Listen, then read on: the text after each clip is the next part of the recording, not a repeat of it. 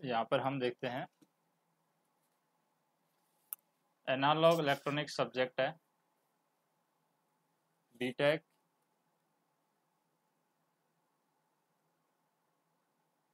electrical third sem subject का नाम है analog electronics analog electronics chapter first है डायोड सर्किट इसमें किस तरीके से क्वेश्चन पूछे गए हैं? जैसे कि 2016 में पूछा गया है क्वेश्चन क्वेश्चन पूछा गया है कि एक सर्किट दे दिया है। उसके लिए हमें आउटपुट वेवफॉर्म ड्रॉ करनी है। जैसे हमें इस तरीके से वेवफॉर्म दे दी है।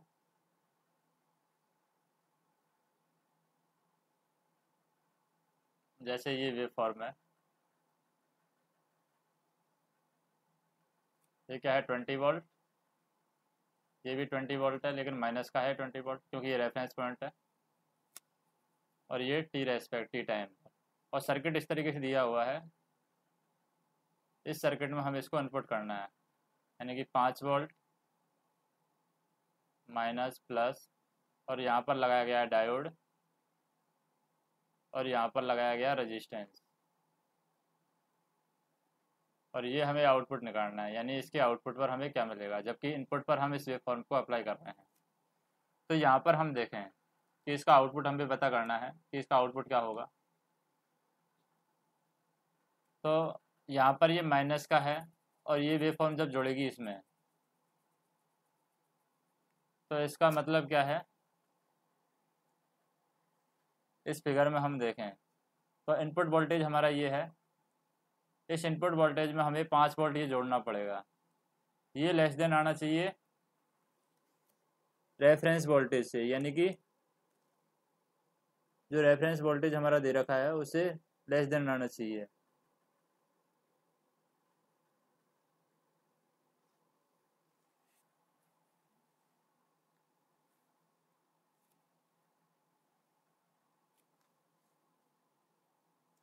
जैसे कि यहाँ पर बी इनपुट प्लस पाँच वोल्ट यहाँ पर जुड़ जाएगा आउटपुट में। तो ये हमारा सेक्शन जैसे जुड़ेगा, इसमें तो किस तरीके से होगा? आउटपुट वेफॉर्म हमारी किस तरीके से आएगी? जैसे ये हमारा रेफरेंस पॉइंट है। बी इनपुट हमारे पास में ये है और बी आउटपुट हमारे पास में ये है। डायोड के अंदर लीनियर रिलेशन होता है दोनों के बीच में? तो यानी बी इनपुट वोल्टेज है, पाँच वोल्ट बढ़ जाएगा। आउटपुट वेवफॉर्म हमारे पास में किस तरीके से आएगी? यानी पाँच वोल्ट जुड़ के आ गए। जैसे हमारे पास में ये रेफरेंस वेब फॉर्म है जो कि बीस वोल्ट के लिए है। अब इसमें अगर हम पाँच वोल्ट जोड़ देते हैं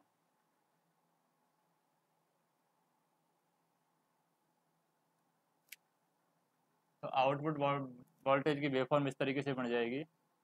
यानी ट्वेंटी की जगह ट्वेंटी फाइव हो जाएगा इस तरीके से। थोड़ी सी इस तरीके से बढ़ जाएगी। और यहाँ भी, क्योंकि प्लस में ही बढ़ेगी। नेगेटिव में यहाँ पर कोई चेंज नहीं आएगा। नेगेटिव में सेम रहेगी, नेगेटिव में भी यहाँ पर। तो जैसे ही डायोड ऑन होगा, डायोड जैसे ही ऑन होगा, क्योंकि हमारे पास में कितना मिल रहा है? ट्वेंटी वोल्ट ये और फाइव वोल्ट ये, यानी ट्वेंटी फाइव वोल्ट टोटल मिल रहा है हमें। तो ट्वेंटी फाइव वोल्ट हो जाएगा। ये पीक वैल्यू कितनी हो जाएगी? ट्वेंटी फाइव वोल्ट अगर ये प्लस का होता तो हमारे पास में अगर ये मान लीजिए कि ये इस रेशियो की जगह इस तरीके से होता प्लस और माइनस तो ये हमें फिफ्टीन वोल्ट ही मिलता आउटपुट में। तो यहाँ पर क्या मिलेगा? ट्वेंटी फाइव वोल्ट मिलेगा हमें आउटपुट में। और नेगेटिव में हमें कुछ मिलेगा नहीं, क्योंकि डायोड में नेगेटिव में क्या है? ऑफ़ हो जाता है डायोड तो नेगेटिव में हमें आउटपुट मिलेगा नहीं तो आउटपुट हमें सिर्फ़ यही वेफॉर्म मिलेगी इस वाला। ये वाला पोर्शन आउटपुट वेफॉर्म होगा। फिर हम दूसरा देखते हैं। दूसरा क्वेश्चन इस तरीके से दे रखा है कि हमें इनपुट वेव फॉर्म है वो इस तरीके से दी हुई है। ये हमें इनपुट वेव फॉर्म दी हुई है।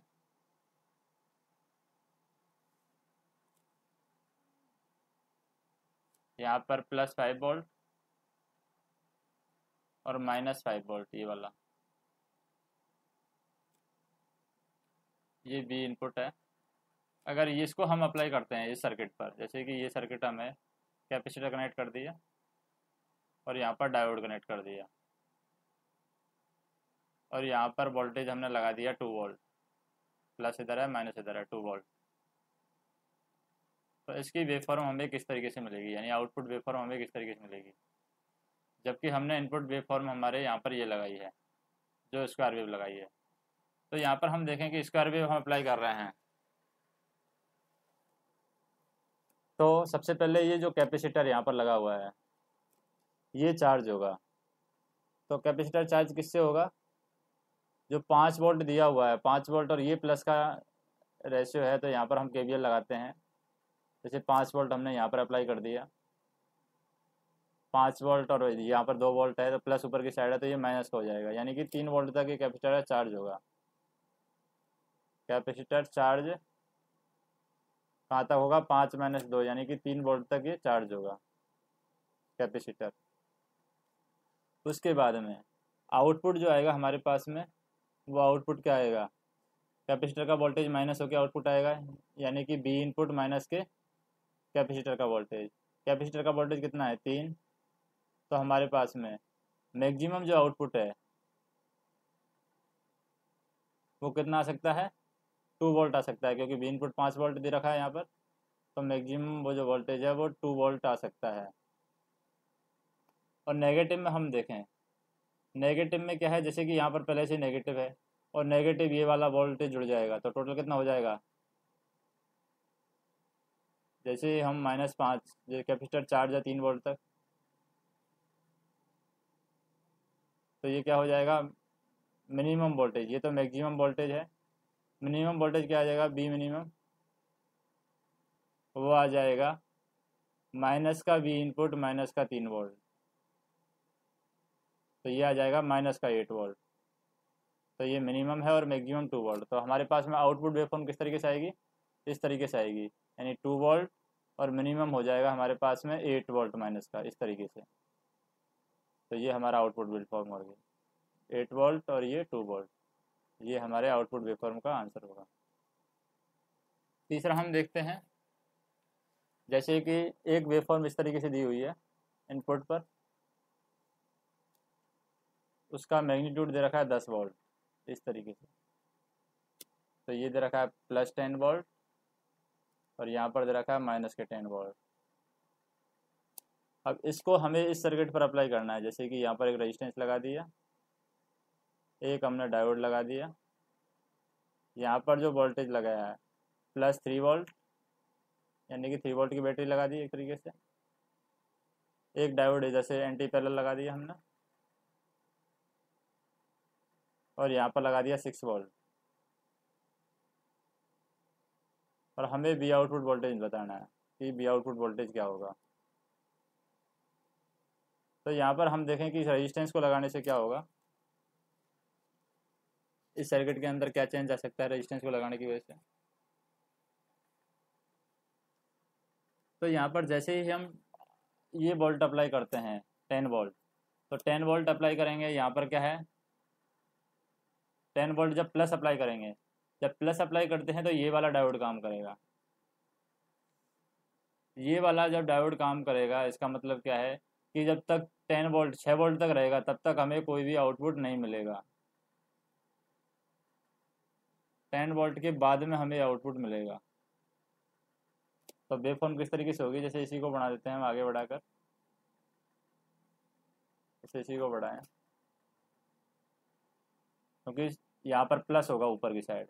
पहले प्लस पॉइंट है तो प्लस होगा। प्लस में होगा तो ये वाला डायोड हमारा काम करेगा। तो छः वोल्ट तक तो ये काम नहीं करेगा। तो यहाँ पर हमें छः वोल्ट तक तो आउटपुट इस तरीके से मिलेगा। यानी कुछ भी हमें आउटपुट नहीं मिलेगा छः वोल्ट यहाँ तक। और फिर इसके बाद में, जैसे कि यहाँ पर मान लेते हैं कि छः वोल्ट हो जाता है ये। तो यहाँ तक, यहाँ से हमें ये लेनी पड़ेगी। रेफरेंस पॉइंट तो यहाँ तक। फिर यहाँ से आगे, जैसे कि यहाँ पर छः वोल्ट है, इधर ही। तो यहाँ पर इस पॉइंट तक। हमें कोई आउटपुट नहीं मिलेगा, यानी ये वाला आउटपुट फ्लैट हो जाएगा, इस तरीके से। फिर बाकी यहाँ पर आएँगे इनिशियल पॉइंट तक, जैसे कि यहाँ तक आए फिर नेगेटिव में हम जाएँगे। जैसे कि यहाँ पर नेगेटिव में जाएँगे। नेगेटिव में क्या है? जब नेगेटिव होगा तो ये वाला डायोड काम करेगा। सेकंड वाला डायोड तो यहाँ पर नेगेटिव में जैसे ही जाएँगे तो तीन वोल्ट से नीचे नहीं जाएगा ये।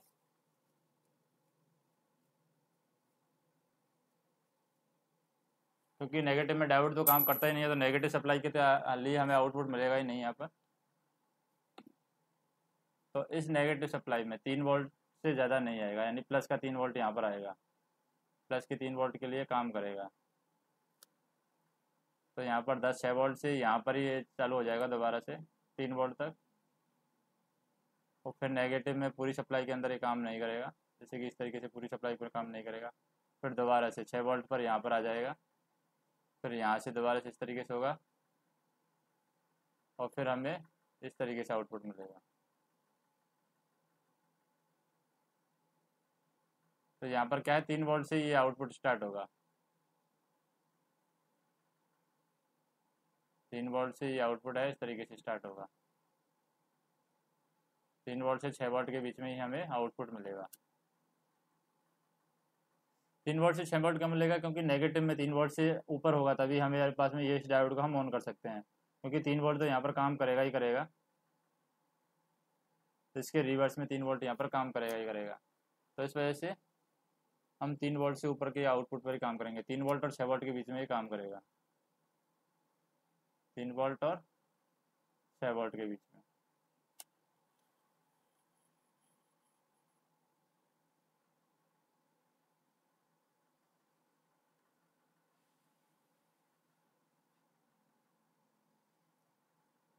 इसके बाद में हम देखते हैं नेक्स्ट क्वेश्चन।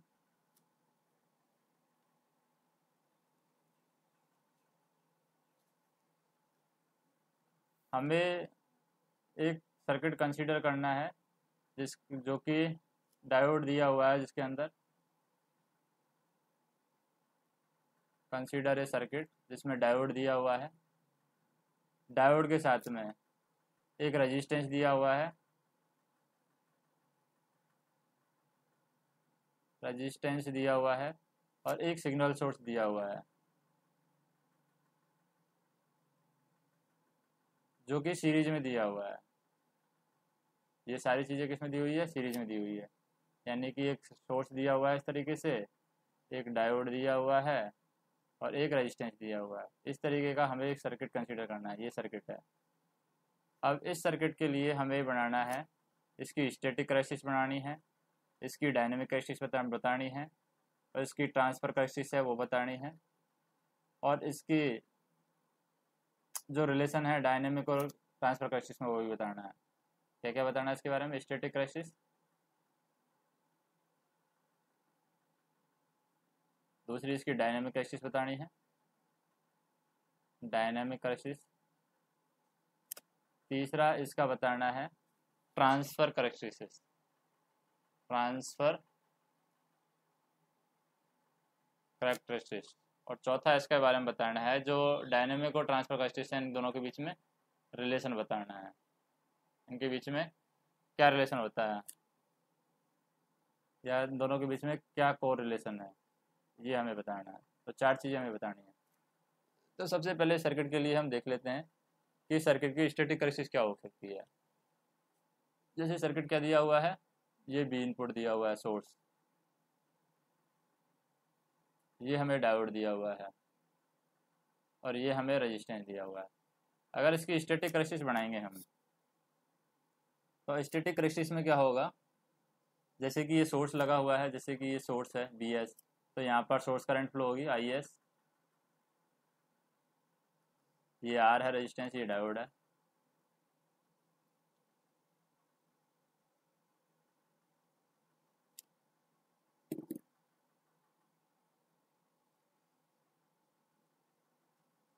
तो स्टेटिक करेक्टरिस्टिक्स हैं, वो लॉन लीनियर होंगे, जो कि एक तरीके से शॉर्ट की इक्वेशन के द्वारा दी जाती हैं। स्टेटिक करेक्टरिस्टिक्स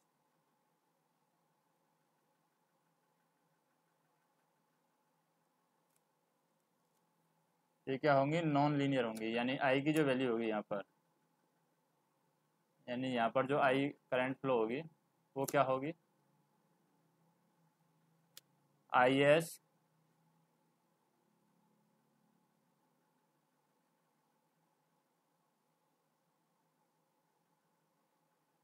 ई की power V D by N V T यानी ये टर्मिनल वोल्टेज है बी डी डायोड वोल्टेज है माइनस के वन ये इसकी स्टेटिक करेक्सिस होंगी, इस सर्किट के लिए।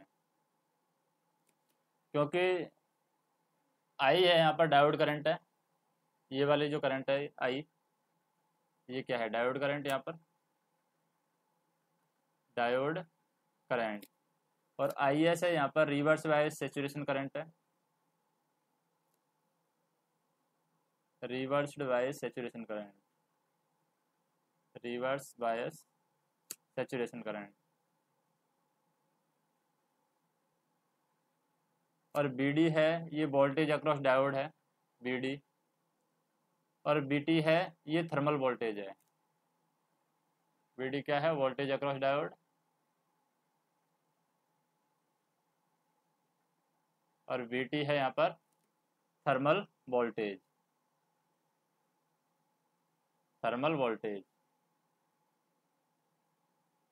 और जो एन लगा हुआ है टी के बी टी के साथ में एन ये क्या है? आइडियलिटी फैक्टर है, जिसकी वैल्यू वन से टू के बीच में होती है। Ideality factor I D A L I T Y ideality factor जिसकी वैल्यू हमेशा वन से टू के बीच में होती है। और जो स्टेटिक करेक्सिस है कंडक्शन रीजन के अंदर, तीन रीजन में होती है। यानी तीन रीजन होते हैं इसके conduction region cut off region और ब्रेकडाउन रीजन तो ये स्टेटिक क्राइसिस के तीन रीजन होंगे। कंडेंशन रीजन दूसरा होता है cut off region cut off region और तीसरा होता है ब्रेकडाउन रीजन।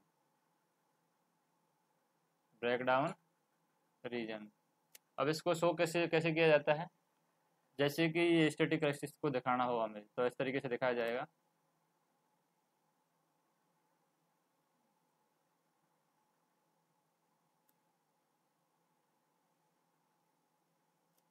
यहाँ पर जैसे डायोड है कंडक्शन रीजन में जैसे कि स्टार्टिंग में वोल्टेज हम बढ़ाते हैं तो ब्रेकडाउन वोल्टेज तक तो ये बढ़ेगा नहीं वोल्टेज तो फिर इसके बाद में हमें बढ़ता है, यानी यहाँ पर ही बढ़ेगा। तो इस पॉइंट तक, जहाँ से तक ऑन नहीं होता, वहाँ तक का ये वोल्टेज है, ये कहलाएगा कट ऑफ़ रीजन का वोल्टेज और इससे आगे का रीजन है, ये वाला रीजन ये कहलाएगा कंडक्शन रीजन कंडक्शन रीजन इसको बीटी बोल सकते हैं, यानी टर्मिनल वोल्टेज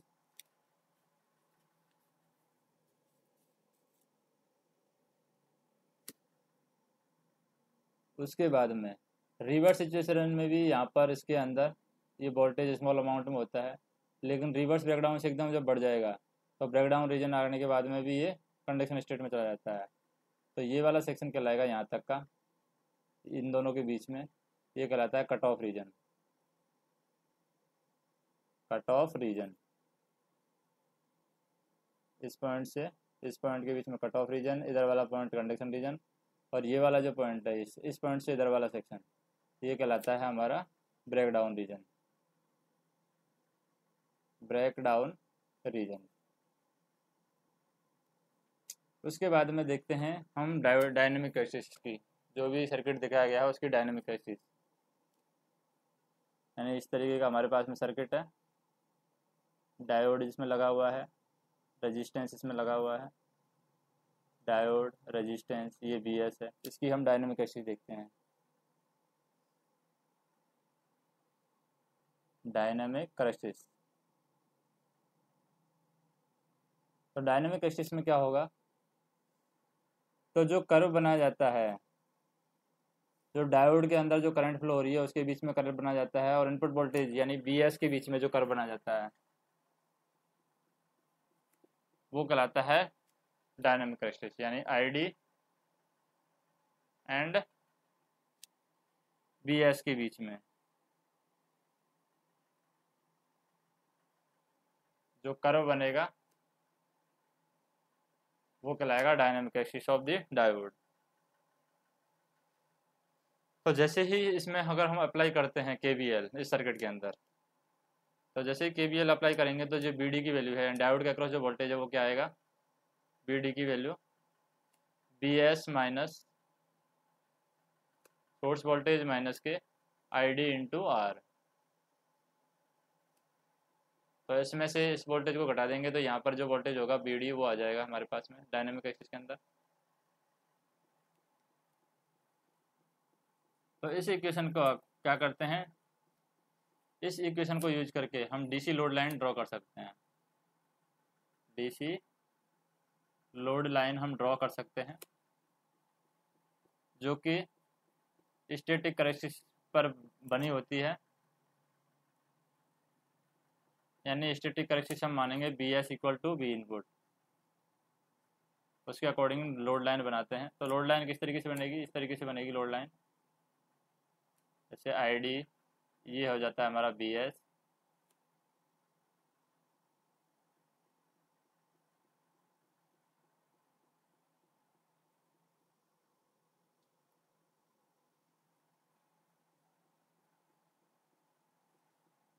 तो यहाँ तक वोल्टेज बी एस हो जाएगा।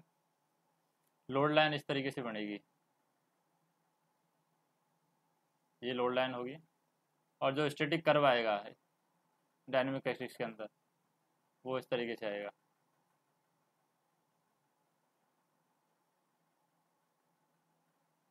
ये स्टैटिक कर्व है।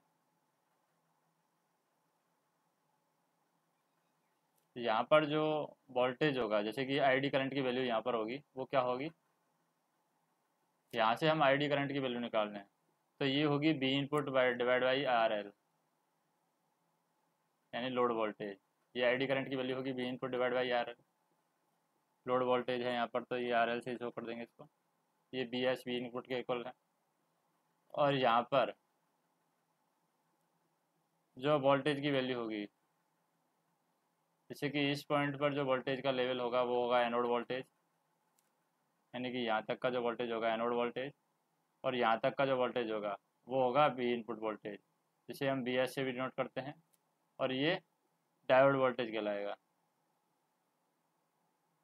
बी डी तो जो लोड लाइन जहाँ पर स्टेटिक कर्व को इंटरसेक्ट करती है इस पॉइंट पर, जैसे पॉइंट ए पर मान लो इंटरसेक्ट कर रही है ये वाली तो यहाँ पर क्या होगा? बी डी और बी ए की वैल्यू इक्वल होगी यानी कि डायोड वोल्टेज और एनोड वोल्टेज ये दोनों इस पॉइंट पर, जहाँ पर स्टेटिक कर्व इनको इंटरसेक्ट कर रहा है डीसी लोड लाइन को, ये वाली डीसी लोड लाइन है। ये बराबर होते हैं डीसी लोड लाइन इसी तरीके से यहाँ पर डायोड करंट और एनोड करंट भी बराबर होंगे। तो यहाँ पर एनोड करंट है ये ये भी बराबर होंगे। और यहाँ पर बी एस और बी इनपुट भी बराबर होंगे, यानी कि सोर्स वोल्टेज इनपुट वोल्टेज भी बराबर होंगे।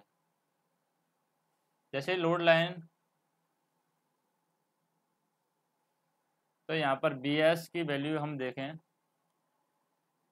जैसे कि लोड लाइन को अगर शिफ्ट करके देखें, जैसे इस पॉइंट से हम लोड लाइन को शिफ्ट कर देते हैं, यानी ये इंटरसेक्ट पॉइंट है, इसको थोड़ा सा शिफ्ट कर देते हैं।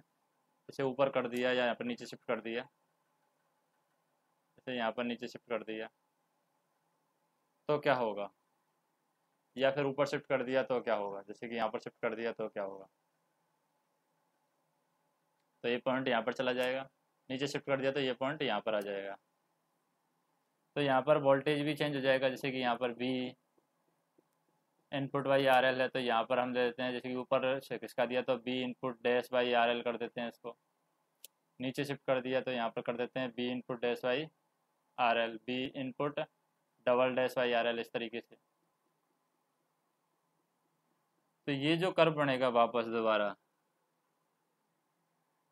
ये बनेगा डायनेमिक कर्व है।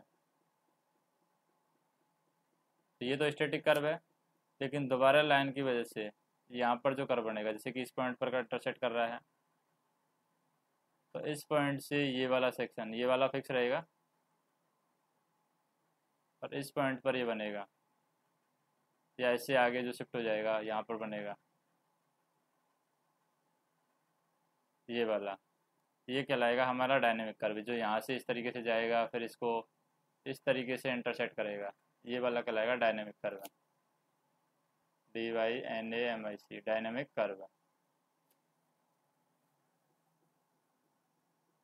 तो जैसे कि बहुत सारी वैल्यू के लिए बी की वैल्यू के लिए हम रोड लाइन ड्रॉ करते हैं तो उसी के अकॉर्डिंग हमें आई डी की वैल्यू भी यहाँ पर अलग अलग मिलती है। जैसे कि यहाँ पर सोर्स वोल्टेज के लिए अलग मिलेगी इसके लिए अलग मिलेगी, यहाँ पर अलग मिलेगी आई डी की वैल्यू ये वाली अलग मिलेगी।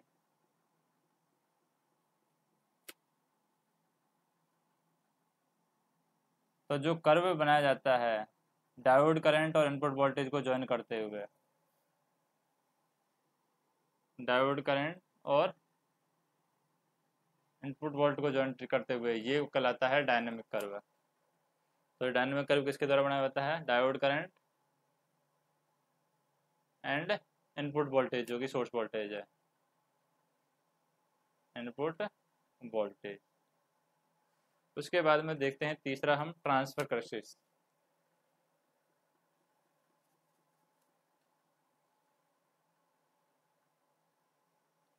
transfer characteristics C H A R A C T E R I S T I C S transfer क्रसिस में क्या होगा?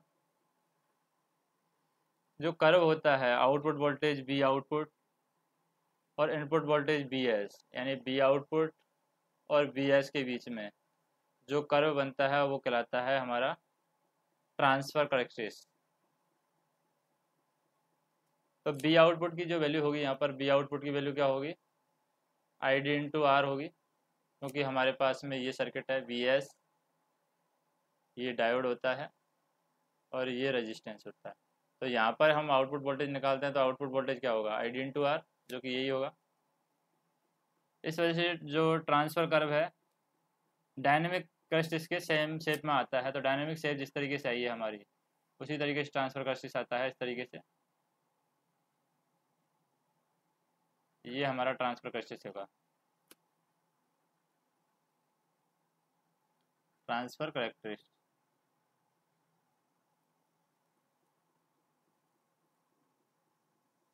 तो यहाँ पर हम देखें कि रिलेशन क्या है इनके बीच में? ट्रांसफ़र करेक्टरिस्टिक्स और डायनेमिक करेक्टरिस्टिक्स के बीच में रिलेशन क्या है? क्योंकि डायनेमिक करेक्टरिस्टिक्स थोड़ी सी सेम होती है, लेकिन इसी तरीके से फ्लैट होती है थोड़ी सी, इस तरीके से। अगर डायनेमिक करेक्टरिस्टिक्स इसी में बनाए इसी सर्किट के अंदर तो डायनेमिक करेक्टरिस्टिक्स थोड़ी सी आगे जाएगी इस तरीके से, और यहाँ पर इस तरीके से हो जाएगी। तो ये है हमारी डायनेमिक करेक्टरिस्टिक्स तो इनके बीच में क्या रिलेशन है? को रिलेशन जैसे कि यहाँ पर हम देखें ट्रांसफ़र करेक्टरिस्टिक्स के अंदर तो यहाँ पर आएगा बी आउटपुट और यहाँ पर आएगा वी एस यानी कि सोर्स वोल्टेज लेकिन जब हम डायनेमिक एक्सिस बनाते हैं तो यहाँ पर बी एस ही रहता है और यहाँ पर जो आता है, वो आता है आई डी यानी कि ड्रेन करंट तो वो डायनेमिक एक्सिस के अंदर होता है. तो ये वाली हमारी कहलाएगी डायनेमिक एक्सिस डायनेमिक करेक्टिस इन दोनों के बीच में क्या रिलेशन है? क्योंकि ट्रांसफ़र करेक्टिस है वो आउटपुट वोल्टेज और इनपुट सोर्स के बीच में ड्रॉ की जाती है, जबकि जो डायनेमिक करेक्टिस है, उसकी शेप है ट्रांसफ़र कर्व की शेप भी डायनेमिक करेक्टिस के शेप के जैसी होती है। तो ये इन दोनों के बीच में रिलेशन होता है।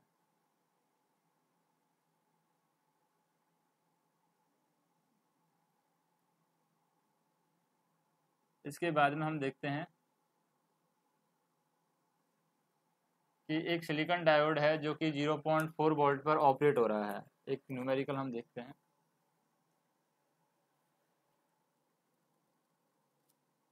एक सिलिकॉन डायोड है।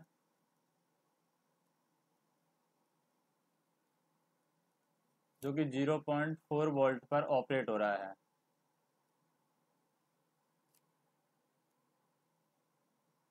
तो हमें क्या करना है? Calculate the factor by which the current will be multiplied calculate the factor by which the current will be multiplied. Current will be multiplied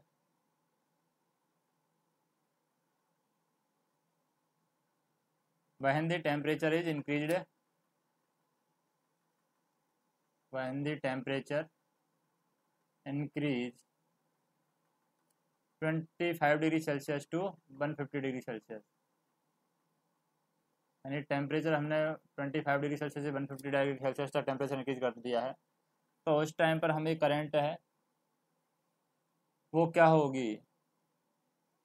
यानी वो फैक्टर निकालना है जिससे हमें करंट मल्टीप्लाई हो जाएगी टेम्परेचर बढ़ने की वजह से।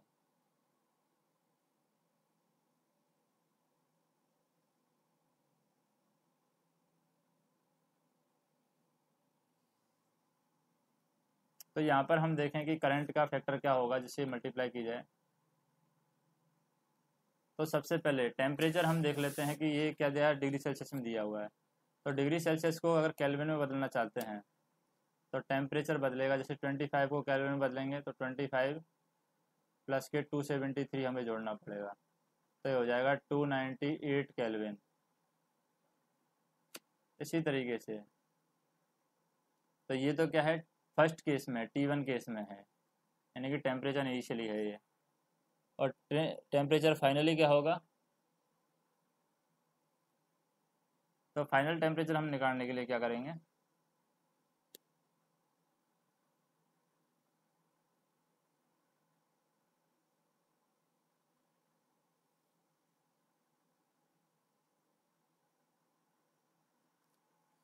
इसको मल्टीप्लाई करेंगे।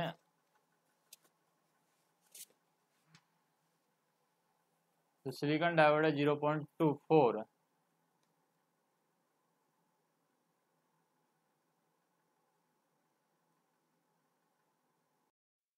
तो केल्विन में ये टेम्परेचर आ गया हमारे पास में। अब क्या करते हैं कि इसको, जैसे कि टर्मिनल वोल्टेज हमें निकालना होता है। तो टर्मिनल वोल्टेज अगर हम निकालेंगे तो कैसे निकालेंगे? के इन टू बी टी से निकालते हैं, यानी के इन टू टेम्परेचर तो के की वैल्यू होती है हमारे पास में कॉन्स्टेंट है के की वैल्यू के eight point six two into ten की पावर माइनस फाइव तो इससे हम मल्टीप्लाई करेंगे टू नाइन्टी एट को। टू नाइन्टी एट को हम मल्टीप्लाई करते हैं तो हमारे पास में आंसर आएगा twenty five point six eight millivolt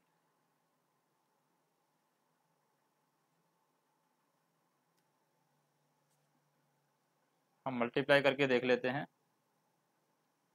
क्योंकि एग्ज़ाम के अंदर कैलकुलेटर अलाउ होता है तो उससे हम मल्टीप्लाई कर लेंगे।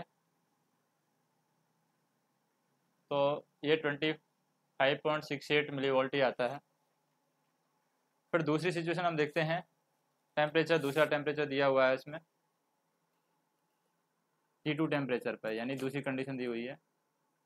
वो कितना है? डेढ़ सौ डिग्री सेल्सियस। तो डेढ़ सौ में हम कैलविन में बदलेंगे टू सेवेंटी थ्री जोड़ेंगे तो ये हो जाएगा second temperature four twenty three kelvin अब फोर ट्वेंटी थ्री के अकॉर्डिंग हम टर्मिनल वोल्टेज निकालेंगे, यानी बीटी निकालेंगे। तो बीटी कैसे निकलेगा? Eight point six two into ten की power minus five into four twenty three तो इससे हमारे पास में जो वोल्टेज आएगा वो आ जाएगा thirty six point four six millivolt अब दोनों हमारे पास में वोल्टेज आ गए हैं इनिशियल कंडीशन में और फाइनल कंडीशन में। और हमारे पास में डायोड के अक्रॉस जो वोल्टेज है, वो दिया हुआ है ज़ीरो पॉइंट फोर वोल्ट ये क्वेश्चन में दिया हुआ है यहाँ पर। तो ये फॉरवर्ड वोल्टेज दिया हुआ है, यानी इससे ज़्यादा वोल्टेज होगा तभी डायोड काम करेगा। तो हम देख लेते हैं कि मान लो कि हमारे पास में इनिशियल टेम्परेचर मान लो, ये पर टेम्परेचर है टी वन उस टाइम पर करंट हमारे अंदर जो करंट फ्लो हो रही है, हमारे पास में आउटपुट करंट फ्लो हो रही है, क्योंकि यहाँ पर करंट को मल्टीप्लाई किया मल्टीप्लिकेशन फैक्टर पूछा है तो मान लेते हैं उस टाइम पर करंट हमारे पास में आई आउटपुट वन फ्लो हो रही है. टी टू टेम्परेचर पर जो करंट फ्लो हो रही है आई आउटपुट टू फ्लो हो रही है, इस तरीके से, ये मान लेते हैं हम. तो इसी के अकॉर्डिंग हम कैलकुलेट करेंगे इसको।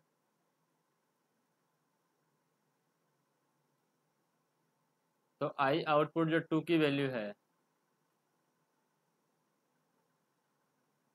वो कितनी आएगी? आई आउटपुट जो टू की कंडीशन में जो टेम्परेचर आ रही है। तो टेम्परेचर के अकॉर्डिंग निकालते हैं। तो ये आ जाएगी। वन पॉइंट ज़ीरो सेवन की power AT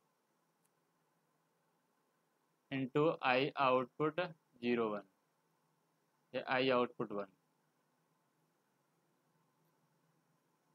अब यहाँ पर हम देखें ए टी ए की वैल्यू क्या होगी? ए टी की वैल्यू होती है एक तरीके से one twenty five. One twenty five क्यों? क्योंकि ये ए टी क्या है? टेम्परेचर डिफरेंस है। तो टेम्परेचर डिफरेंस क्या है? यहाँ पर डेढ़ सौ और ट्वेंटी फाइव डिग्री सेल्सियस में वन ट्वेंटी फाइव का टेम्परेचर डिफरेंस है। तो ये वन ट्वेंटी फाइव आ जाएगा।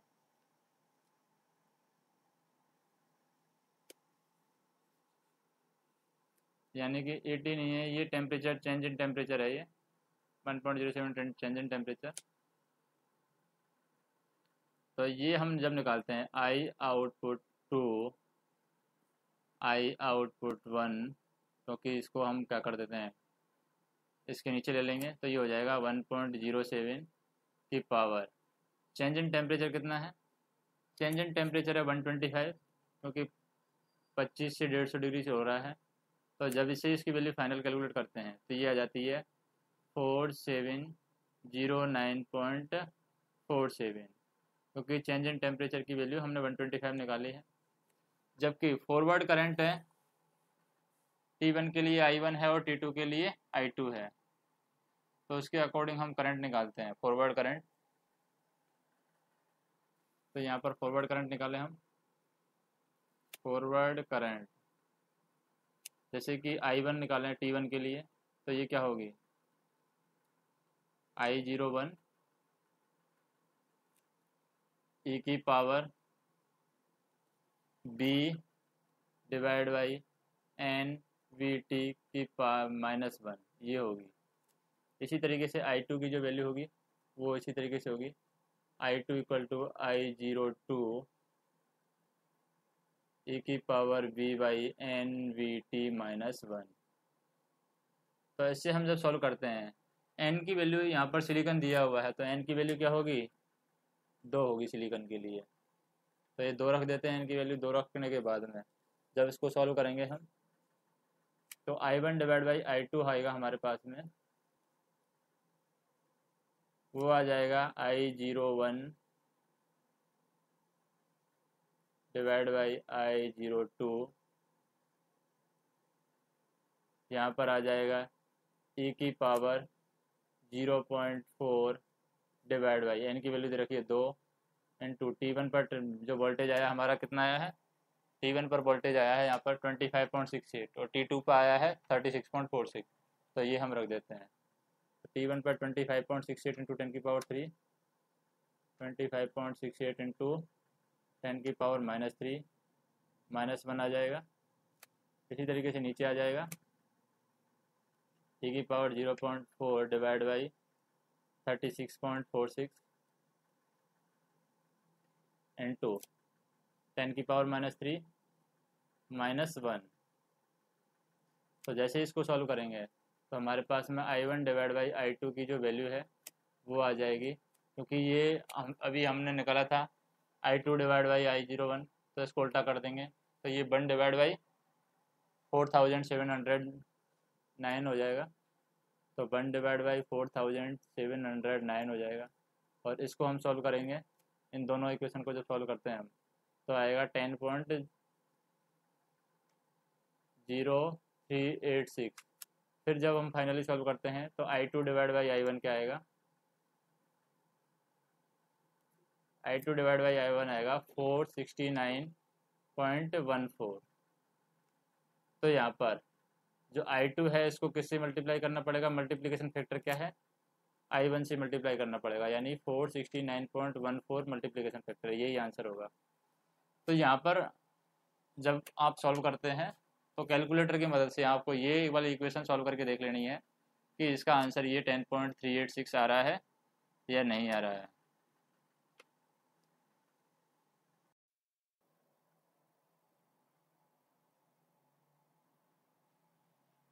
नेक्स्ट क्वेश्चन हम देखते हैं। कि what are the general characteristics of diode clipper circuit ये क्वेश्चन 2016 में पूछा गया है। What are the general characteristics of diode clipper circuit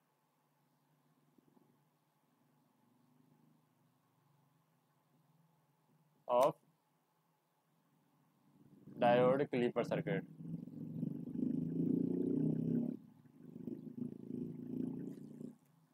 तो कोई भी जो डायोड क्लीपर सर्किट होता है, उसके अंदर एटलीस्ट कोई भी क्लीपिंग सर्किट होगा। उसके अंदर टू कंपोनेंट होते हैं। पहला होता है एक आइडियल डायोड।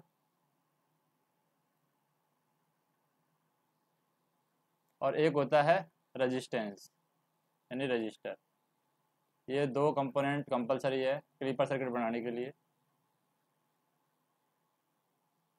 और कई बार एक क्लिपिंग लेवल को फिक्स करने के लिए हम डीसी बैटरी भी यहाँ पर लगा देते हैं, ताकि क्लिपिंग लेवल को फिक्स कर सकें। तो ये दो मैंडेटरी इक्विपमेंट हैं, और ये क्लिपिंग लेवल को फिक्स करने के लिए डीसी बैटरी भी हम कई बार इसमें लगा देते हैं। डायोड है जब फॉरवर्ड वाइस में होता है तो क्लोज सर्किट की तरह काम करेगा। फॉरवर्ड वाइस में। और ओपन स्विच की तरह काम करेगा जब रिवर्स वाइस में होगा। तो रिवर्स वाइस में होगा तब ये ओपन स्विच की तरह काम करेगा। तो जैसे हम कोई भी इनपुट वेवफॉर्म देते हैं तो इनपुट वेवफॉर्म को डिफरेंट लेवल पर हम बैटरी का वोल्टेज लेवल चेंज करके उसको क्लिप कर सकते हैं।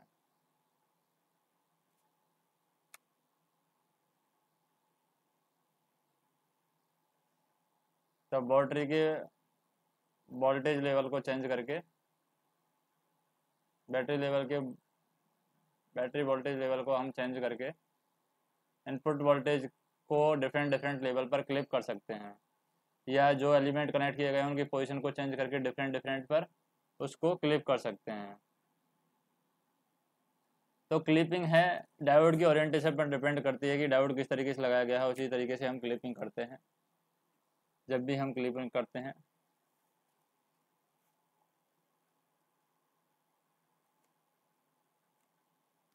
तो डायोड के जैसे कि डायोड किस डायरेक्शन में लगा हुआ है? उसी के अकॉर्डिंग जैसे कि पॉजिटिव वेव क्लिप करनी है, जैसे इनपुट वेव हम इस तरीके की देते हैं।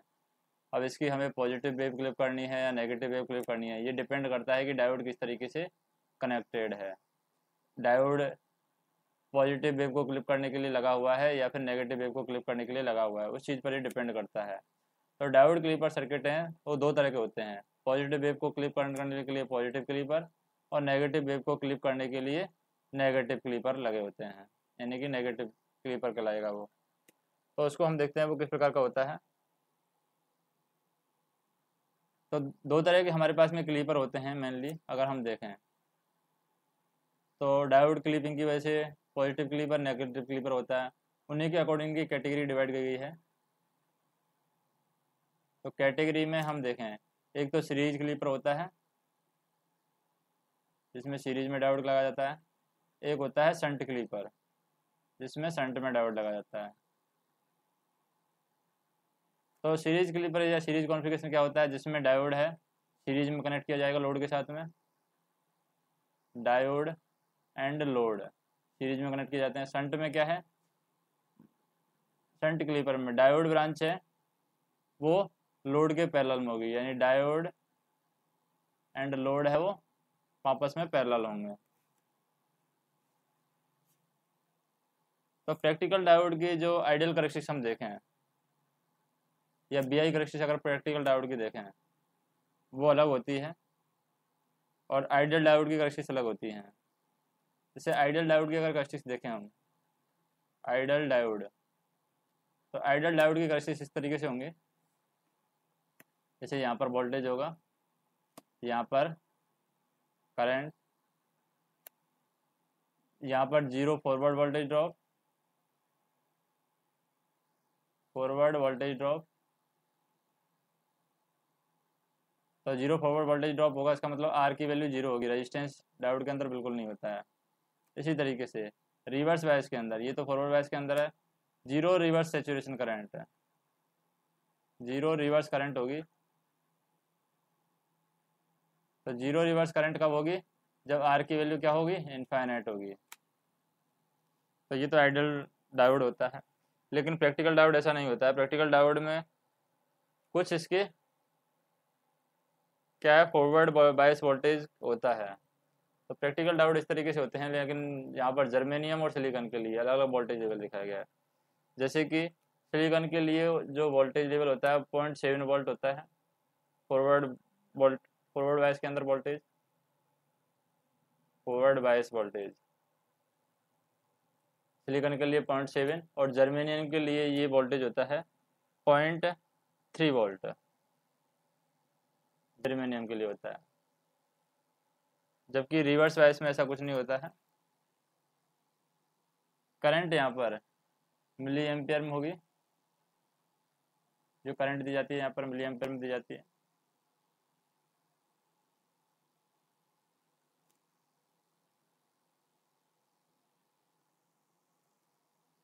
तो अगर बी आई करेक्टिस हम बढ़ाएँ आइडल डायोड की तो आइडियल डायोड की बी आई करेक्टिस किस तरीके से बनेगी? इस तरीके से बनेगी। यानी यहाँ तक हमें टर्मिनल वोल्टेज तक, जो बी टी टर्मिनल वोल्टेज है, वहाँ तक हमें कोई आउटपुट नहीं मिलेगा, उसके बाद में ये लीनियर आउटपुट मिलेगा, इस वोल्टेज तक। तो ये फॉरवर्ड वोल्टेज है। अब ये बी टी वोल्टेज क्या है? सिलिकॉन के लिए पॉइंट सेवन है और जर्मेनियम के लिए पॉइंट थ्री वोल्ट है। तो ये हमें मिलेगा। ये जो वैल्यू है फॉरवर्ड वोल्टेज फॉरवर्ड रेजिस्टेंस की जो वैल्यू है, वो किससे निकालते हैं हम? D V by D I से निकालेंगे। यानी फॉरवर्ड रेजिस्टेंस की वैल्यू होगी D V by D I इससे हम फॉरवर्ड रेजिस्टेंस की वैल्यू निकालते हैं और ये वाली वैल्यू करंट होगी। तो यहाँ पर हम देखें आइडियल डायोड क्रिस्टिस है, जिसके अंदर स्टॉप के अंदर डिसकंटिन्यूटी होती है। वो होती है इस पॉइंट पर, यानी बी डी टर्मिनल पर।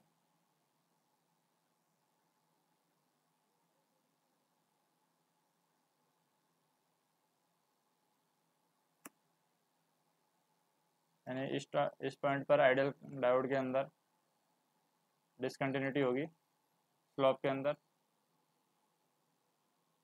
तो इस पॉइंट को हम कहते हैं ब्रेक पॉइंट जो ये पॉइंट दिखाया गया है, इस पॉइंट, ये पॉइंट क्या कहलाएगा? ब्रेक पॉइंट कहलाएगा। ब्रेक पॉइंट जो कि जर्मेनियम के लिए पॉइंट टू वोल्ट होता है, जर्मेनियम के लिए पॉइंट टू वोल्ट और सिलिकन के लिए point seven volt, point six volt, ये ब्रेक पॉइंट होता है।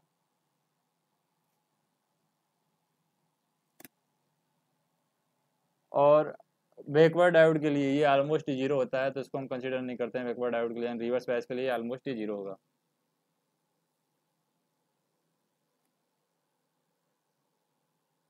अब हम देखते हैं एक डायोड क्लिपिंग सर्किट इसका बनाते हैं।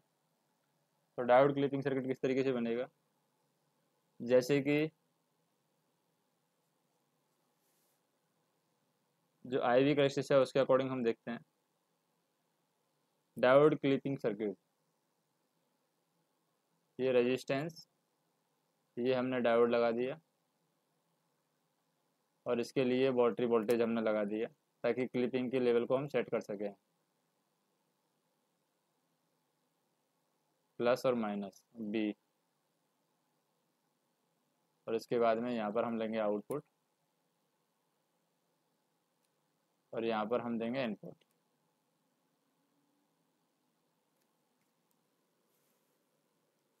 जैसे कि यहाँ पर हम कर्व बनाए हैं। जैसे इस पॉइंट पर अगर हम कर्व बनाते हैं तो क्या होगा? जैसे आई वी हम बनाते हैं यहाँ पर।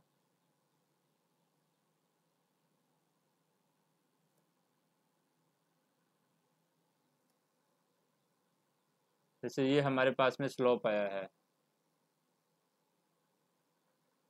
डायोड की कैसिस का स्लोप है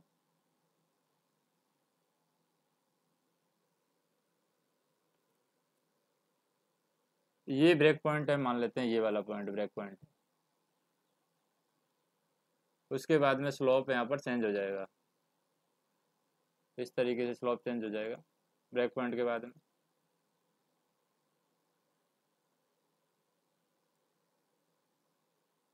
और यहीं पर हम इनपुट देते हैं, जैसे कि इसी पॉइंट के लिए इनपुट देंगे। तो ये पॉजिटिव के लिए हो जाएगा इनपुट जैसे यहाँ तक ब्रेक पॉइंट है। तो ब्रेक पॉइंट के रेफरेंस लेते हुए हम जैसे इनपुट देंगे तो वो इस तरीके से आएगा।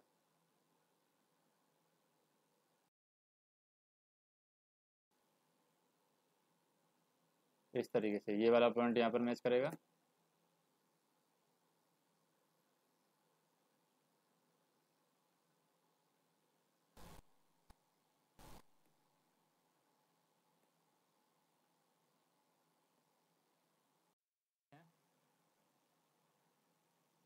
तो जो इनपुट वोल्टेज है, वो इस तरीके से दिया जाएगा टाइम के रेस्पेक्ट में।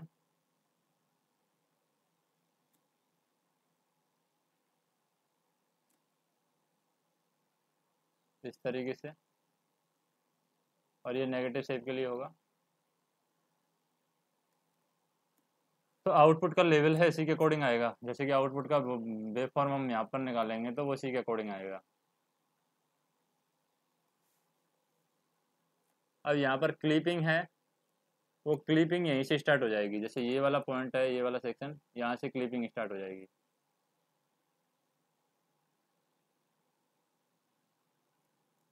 यानी इस वाले सेक्शन से ये क्लिपिंग स्टार्ट होगी।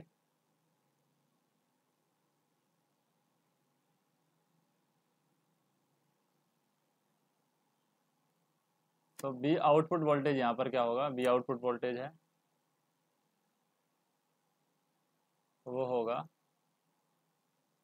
V input voltage into R F divide by R F plus R R F क्या है? फॉरवर्ड वोल्टेज है यहाँ पर। तो जैसे ही वी इनपुट वोल्टेज यहाँ पर क्लिपिंग सर्किट किस तरीके से काम करेगा?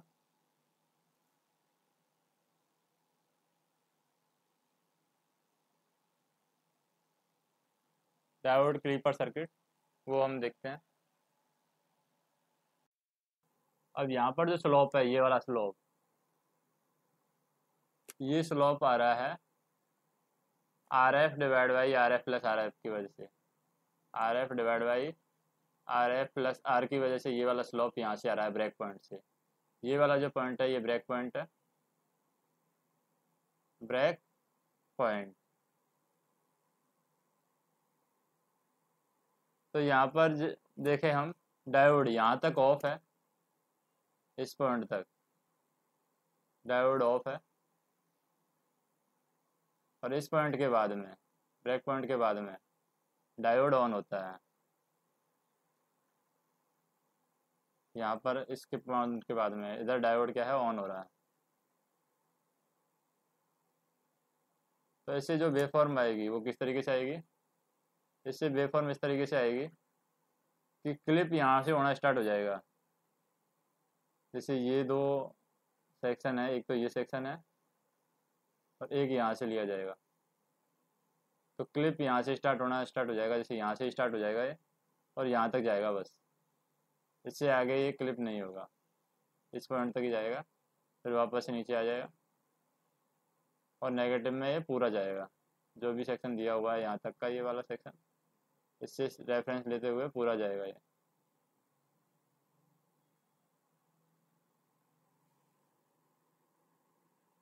तो यहाँ पर जो वैल्यू है यहाँ पर, ये वाली जो वैल्यू है ब्रेक पॉइंट की वैल्यू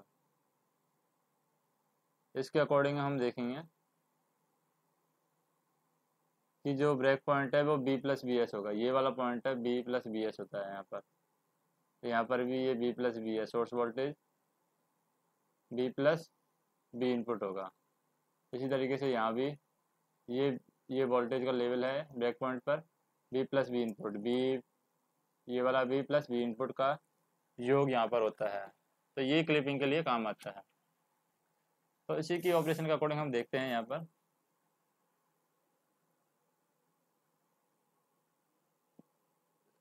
ये जो करेक्टिस दिखाई गई है ट्रांसमिशन करेक्टिस दिखाई गई है इसकी। ट्रांसमिशन करेक्टिस इसमें आउटपुट है इनपुट वोल्टेज के अगनेस्ट हमने बनाया है डिसकंटिन्यूटी के रेस्पेक्ट में।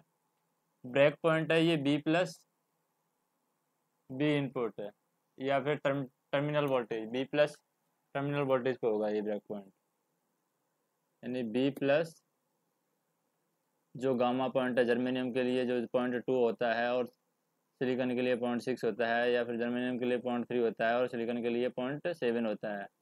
वहाँ तक ये वोल्टेज होगा। बी प्लस बी गामा तो ब्रेक पॉइंट क्या होगा? जैसे कि बी इनपुट की वैल्यू जब तक इससे कम है, जब तक बी इनपुट की वैल्यू इससे कम है, तब तक डायोड रिवर्स वाइस में होगा और ऑफ़ कंडीशन में होगा। जैसे ही बी इनपुट की वैल्यू बढ़ती है तो डायोड ऑन कंडीशन हो जाता है।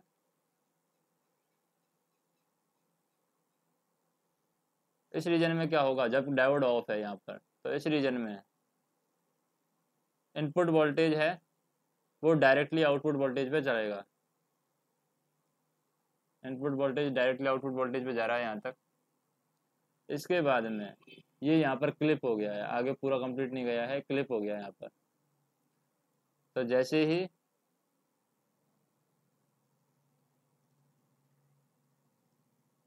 तो यहाँ पर सीरीज़ रेजिस्टेंस लगाया हुआ है, जिसकी वजह से कोई भी लोड नहीं है तो सीरीज़ रेजिस्टेंस लगा हुआ है। ये वाला रेजिस्टेंस इसकी वजह से थोड़ा बहुत ड्रॉप होगा।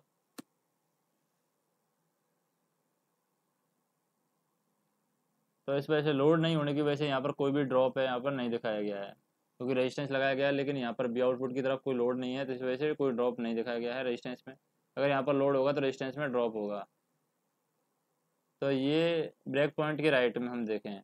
जैसे ही बी इनपुट की वैल्यू ज़्यादा होती है किससे बी प्लस बी जो टर्मिनल वोल्टेज है, उससे ज़्यादा होती है। तो डायोड फॉरवर्ड वाइस में हो जाएगा और बी इनपुट में के वोल्ट में चेंज आ जाने लग जाएगा, यानी इसमें चेंज आने लग जाएगा।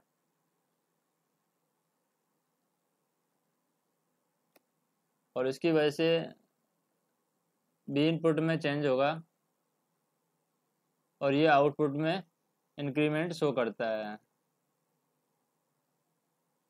तो यहाँ पर हम देखें, जैसे कि साइनोसॉइडल इनपुट सिग्नल हमने लार्ज एम्पलीट्यूड का यहाँ पर अप्लाई किया है इनपुट सिग्नल तो सिग्नल को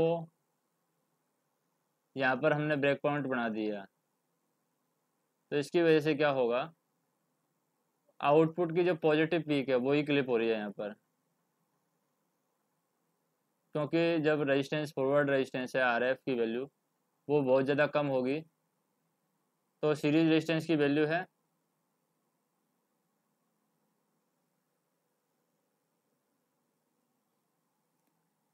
यानी कि आरएफ की वैल्यू जब सीरीज़ रेजिस्टेंस से बहुत ज़्यादा लेस होगी।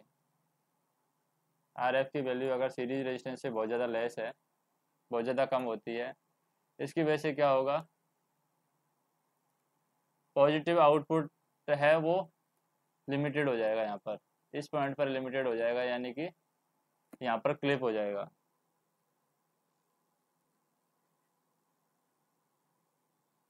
तो यहाँ पर आउटपुट है, तभी क्लिप होगा जब पॉजिटिव पीक है, वो क्लिप हो जाएगी। और बी गामा रिवर्स वैस के अंदर नेग्लिजिबल होता है। तो इस वजह से बी वोल्टेज के कंपैरिजन में एक बी गामा है नेग्लिजिबल हो जाता है। इस केस में बी खुद यहाँ पर रेफरेंस वोल्टेज की लिमिटेशन का काम करता है। उसके बाद में हम देखते हैं नेक्स्ट नेक्स्ट क्वेश्चन है। क्लिपिंग का अगर डायग्राम और देखें हम, क्लिपिंग का सर्किट का। जैसे कि ये क्लिपिंग है डिफरेंट लेवल पर क्लिपिंग दिखाई गई है यहाँ पर। जैसे कि ये साइनोसोडल वेव फॉर्म में डायोड के अंदर ज़ीरो डायोड के अंदर क्लिपिंग दिखाई गई है तो इस वोल्टेज पर यहाँ पर क्लिपिंग इस तरीके से होगी। ये सिंगल जीना डायोड क्लिपिंग है, और डबल जीना डायोड क्लिपिंग मतलब जब डबल डायोड लगा दिया तो पॉजिटिव में भी क्लिप हो जाएगा नेगेटिव में भी क्लिप हो जाएगा। तो इस तरीके से क्लिपिंग यहाँ पर दिखाई गई है। अगर डिफरेंट डिफरेंट लेवल पर क्लिपिंग देखें, जैसे कि यहाँ पर तो अलग अलग डिफरेंट डिफरेंट लेवल पर क्लिपिंग यहाँ पर हो सकती है। उसके बाद में हम देखेंगे। क्वेश्चन दिया हुआ है एक। Full wave rectifier circuit full wave rectifier circuit required give a DC voltage of 80 volt full wave rectifier circuit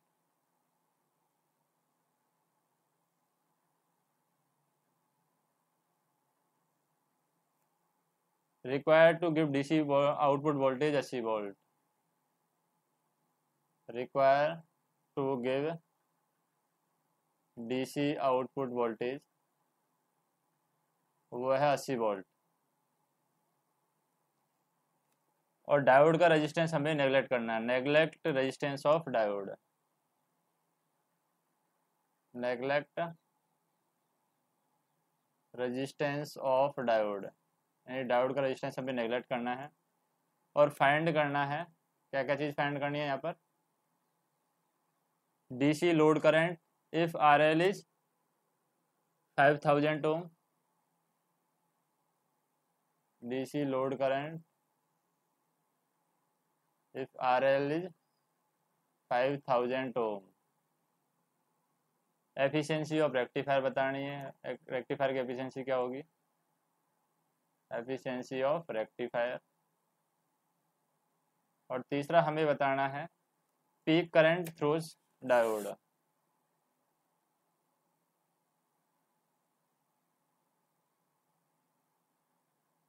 peak current through diode ये भी हमें बताना है।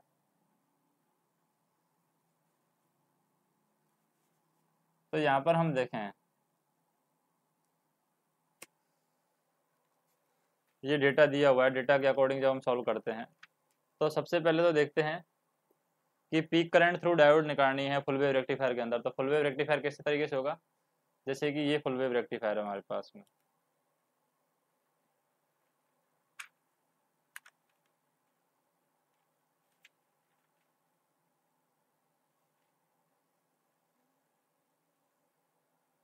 कैसे ये क्वेश्चन में नहीं दिया हुआ है कि सेंटर टैप है, किस तरीके का है। ओनली फुल वेव रेक्टिफायर दिया हुआ है। तो हम फुल वेव रेक्टिफायर कोई सा भी बना देते हैं, जैसे कि सेंटर टैप बना देते हैं। ये हमने बना दिया सेंटर टैप ये डायोड ये भी डायोड बना देते हैं।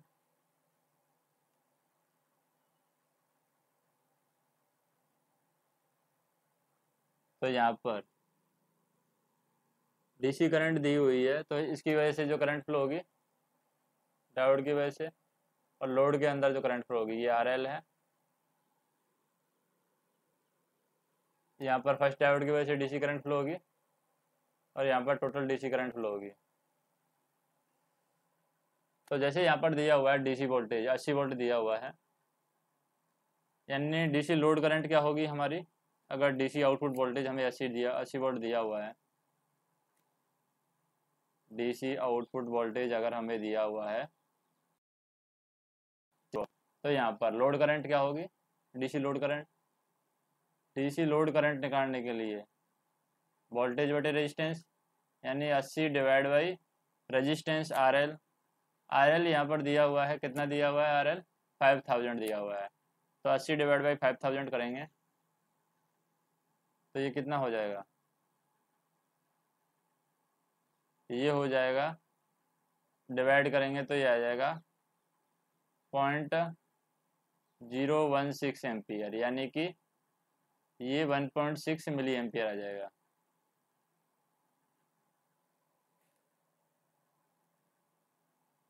One point six milli ampere उसके बाद हम देखते हैं क्वेश्चन क्या पूछा है? डीसी करंट तो आई गई हमारे पास में आई डीसी करंट पूछी है। डीसी लोड करंट दूसरा पूछा एफिशिएंसी ऑफ़ रेक्टिफायर तो रेक्टिफायर की एफिशिएंसी कैसे आएगी? रेक्टिफायर एफिशिएंसी का फार्मूला क्या होगा? रेक्टिफायर एफिशिएंसी तो रेक्टिफायर एफिशिएंसी निकालने के लिए हम क्या करेंगे? जैसे कि जो मैक्सिमम एफिशिएंसी होती है वो eight one eighty one point two होती है मैक्सिमम एफिशिएंसी, जो फुल ब्रिज रेक्टिफायर होता है या फिर फुल वेव रेक्टिफायर होता है उसकी। और इसको डिवाइड कर देंगे हम one plus R F divide by R L R F divide by R L R F क्या है? फॉरवर्ड रेजिस्टेंस है इंटू हंड्रेड। तो इससे हमारी एफिशिएंसी आ जाएगी। तो डायोड का जो रेजिस्टेंस है, वो क्या दिया हुआ है? ज़ीरो ओम, आइडियल कंडीशन में। क्योंकि डीसी दिया हुआ है डीसी वोल्टेज एट्टी वोल्ट तो इसका मतलब क्या है? डायोड का आइडियल कंडीशन में रेजिस्टेंस ज़ीरो होता है आर एफ़ की वैल्यू ज़ीरो होगी यहाँ पर। आर एफ़ की वैल्यू ज़ीरो होने की वजह से। ज़ीरो में अगर पाँच हज़ार का भाग देते हैं आर एल की वैल्यू पाँच थाउज़ेंड है तो ज़ीरो ही आएगा यहाँ पर। ज़ीरो और ये बन रहेगा तो बन ही रह जाएगा यहाँ पर टोटल तो एफिशिएंसी क्या हो जाएगी? आर एफ़ की वैल्यू अगर कुछ दी होगी, तभी एफिशिएंसी चेंज होगी। बाकी एफिशिएंसी यहाँ पर eighty one point two percent ही रह जाएगी। क्योंकि ये ज़ीरो हो जाएगा, ज़ीरो में अगर फाइव थाउज़ेंड का भाग देंगे तो भी ज़ीरो ही आएगा और ज़ीरो में बन जोड़ेंगे तो बन ही आएगा बन में इसका भाग देंगे तो सेमी संख्या रहेगी। तो इसलिए एफिशिएंसी आएगी eighty one point two percent अब देखते हैं तीसरा जो क्वेश्चन पूछा है यहाँ पर। तीसरा क्वेश्चन पूछा है कि पीक करंट थ्रू डायोड क्या होगी? तो पीक करंट थ्रू डायोड निकालनी है तो सबसे पहले हमें डायोड पीक करंट डायोड के अक्रॉस निकालनी है यहाँ पर। इस डायोड का अक्रॉस पीक करंट निकालनी है। तो हम क्या करेंगे? सबसे पहले जैसे कि डी वन डायोड जो ऊपर की साइड दिया हुआ है, उसे मान लेते हैं कि ये डीसी लोड करंट है। डीसी लोड करंट तो फिगर से हम देखेंगे कि डीसी लोड करंट है, वो इसके इक्वलेंट है। इसका मतलब I D one D C है। वो कितना आ जाएगा? One point six milli ampere जो कि हमने यहाँ पर कैलकुलेट किया है। यहाँ पर जो कैलकुलेट किया है आई की value one point six milli ampere यही डी वन इस डायोड डी वन की वजह से करंट आ जाएगी। यहाँ पर डायोड डी डी टू की वजह से करंट आ रही है। इसका मतलब फुल वेव रेक्टिफायर के अंदर आई डी सी की जो वैल्यू होती है फुल वेव रेक्टिफायर के अंदर, वो होती है point six three six into peak voltage इसका मतलब क्या है कि अगर हमें पीक करंट निकालनी है तो ये आईपी है। डीसी करंट की वैल्यू पीक करंट से इतनी गुना होती है। Point C three six three six इसका मतलब आईपी की वैल्यू निकालनी है तो आईपी की वैल्यू कैसे आएगी? पॉइंट सिक्स थ्री यानी I D C divide by point six three six आ जाएगा। तो ये आ जाएगा। I D C divide by point six three six ये हो जाएगी आई पीक यानी पीक वैल्यू डीसी करंट की। तो जैसे ही हम इसको सॉल्व करेंगे तो ये आ जाएगी पीक करंट की value two point five one six milli ampere. इस तरीके से इसको सॉल्व कर लेंगे। बाकी जो नेक्स्ट क्वेश्चन है, या बाकी क्वेश्चन है वो हम नेक्स्ट वीडियो में देखेंगे।